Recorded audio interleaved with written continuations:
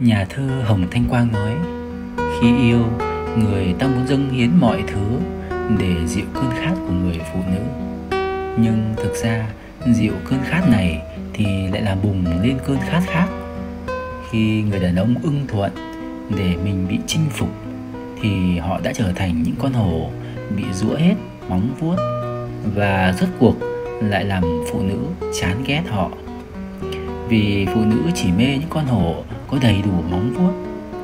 Đừng bao giờ nghĩ cái sự quy hàng của mình có thể làm dịu đến cơn khát trong lòng họ.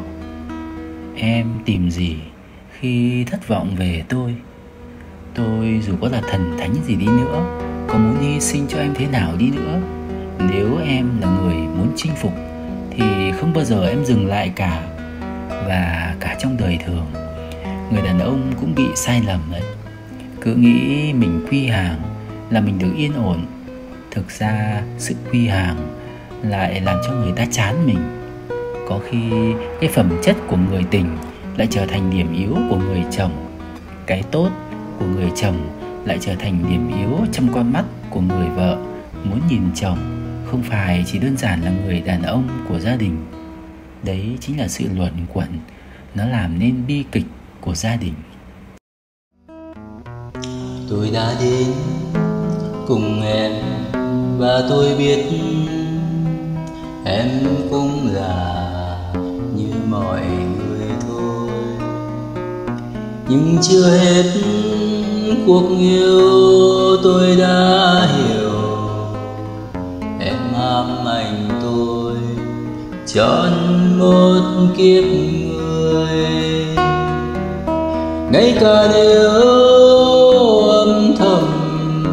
hoa đã bầu trời lặng yên cũng đã vỡ rơi.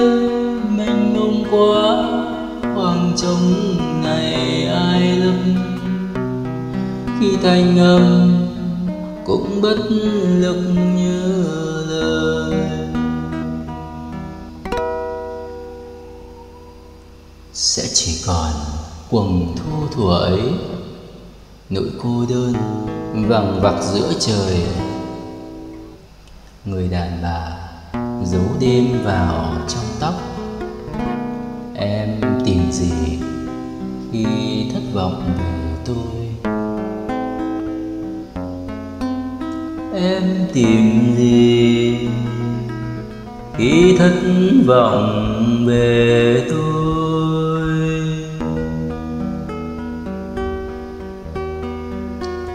em tìm gì?